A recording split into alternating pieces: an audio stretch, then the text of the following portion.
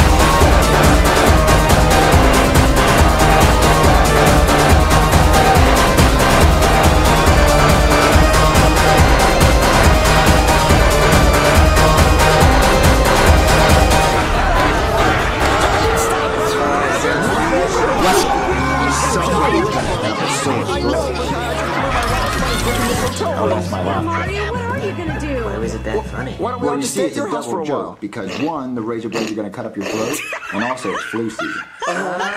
Uh, so they gotta double the sore throat. Yeah, that, that's a good joke. Yeah. Nice, dude. Yeah.